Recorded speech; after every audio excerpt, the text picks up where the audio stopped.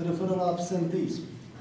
Dacă pe luna septembrie discutam pe două săptămâni, luna, luna octombrie lună întreagă, uh, numărul de absențe este în continuare, nu e mare, e foarte mare.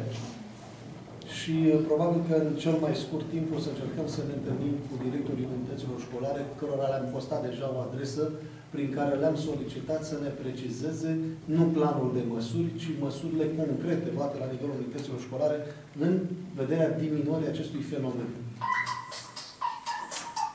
O să vă pun la dispoziție toate datele, vreau doar să vă spun că în total pe luna octombrie am înregistrat 340.000 de absențe.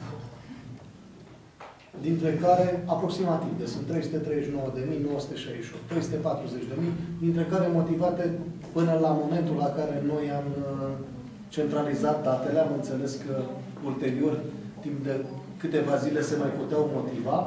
La momentul la care noi am uh, întocmit această statistică, motivate erau doar 140.000. Aceasta înseamnă 200.000 de absențe nemotivate. Deci 340 de mii, dacă înmulțim cu 10 luni, ajungem tot la cele 3 milioane jumătate de anul trecut. Deci cu toate eforturile noastre, cu toate controlele, cu toată mediatizarea, și ați văzut că n-am avut niciun fel de particri cu nimeni și am, v-am pus la dispoziție toate datele, numărul absențelor e constant mare. Am realizat și uh, două astfel de topuri, dacă se pot numi așa, pe unități școlare de nivel gimnazial, deci pe școli generale și pe licee.